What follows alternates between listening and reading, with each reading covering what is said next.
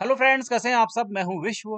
तो जब हम माइक्रोसॉफ्ट एक्सेल पे काम कर रहे होते हैं तो जब हम इंटर प्रेस करते हैं तो आपने देखा होगा कर्सर जो है वो नीचे मूव करता है। जैसे कि ये देखिए, यहाँ पर इंटर प्रेस कर रहे तो कर्सर जो है वो नीचे मूव कर रहा है।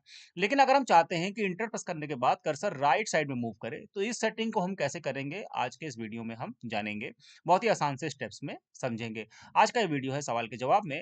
माइक्रोसॉफ्ट एक्सेल पर इससे पहले भी कई सारे इंपॉर्टेंट टॉपिक में कवर कर चुका हूँ। नीचे डिस्क्रिप्शन में प्लेलिस्ट का लिंक दिया हुआ है। वहाँ से जाकर के आप वो वीडियोज़ देख सकते हैं। चलिए शुरू करते हैं आज का वीडियो तो देखिए राइट साइड में कर्सर मूव करें, इसके लिए, इस सेटिंग को करने के लिए हमको जाना है लेफ़्ट हैंड साइड में फ़ाइल टैब में। इस पर क्लिक कर दीजिए। तो नीचे आपको बहुत सारे ऑप्शन मिलेंगे। सबसे नीचे हमको ऑप्शंस पे क्लिक करना है। ये रहा ऑप्शंस इस पर क्लिक कर दीजिए। तो आप देखेंगे कि माइक्रोसॉफ्ट एक्सेल का सॉरी एक्सेल ऑप्शंस का ये विंडो यहाँ पर ओपन हो जाता है। यहाँ पर हमको लेफ़्ट हैंड साइड में जाना है एडवांस्ड में, ठीक है? ये रहा एडवांस का ऑप्शन इस पर क्लिक कर दीजिए।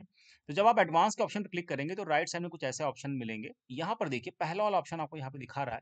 After pressing enter move selection तो यहाँ पर देखिए डायरेक्शन डाउन सेलेक्ट है।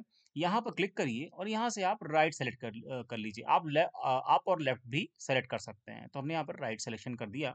उसके बाद यहाँ से ओके पे क्लिक करना ना भूलिएगा, ठीक है? ओके पे क्लिक कर दिया। अब देखिए, जब हम इंटरप्रेस करेंगे तो ये जो कर्सर है वो राइट साइड में मूव करेगा। ये देखिए, मैं इंटरप्रेस करता जा रहा हूँ और कर्सर जो है वो राइट साइड में मूव करता जा रहा है। है ना?